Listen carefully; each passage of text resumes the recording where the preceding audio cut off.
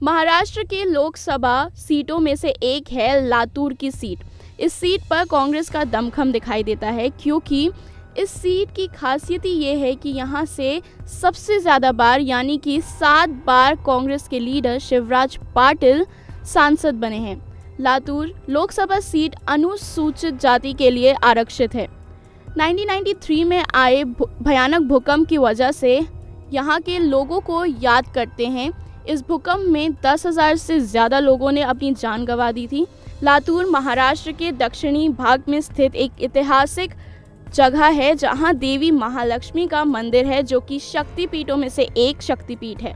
और यहाँ का बुद्ध पार्क मंदिर भी काफ़ी फ़ेमस है, और इसलिए इस शहर को, जो कि पंचगंगा नदी के तट पर बसा है, इसे दक्षिण का काशी भी कहते हैं।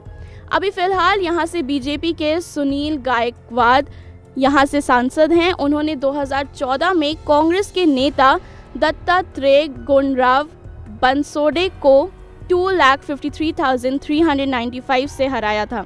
अगर बात की जाए मौजूदा सांसद के संसद में परफॉर्मेंस की तो इनकी उपस्थिति 96 फ़ीसदी रही है।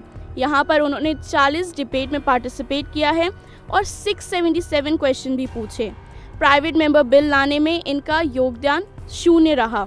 इस सीट के खर्च करने के लिए 25 करोड़ रुपीस का प्रावधान है, जिसमें से 81.32 परसेंट खर्च किए गया है। सुनील गायकवाड पेशे से बिजनेसमैन और पीएचडी होल्डर हैं। एस पी न्यूज़ से अनुश्रुति की रिपोर्ट।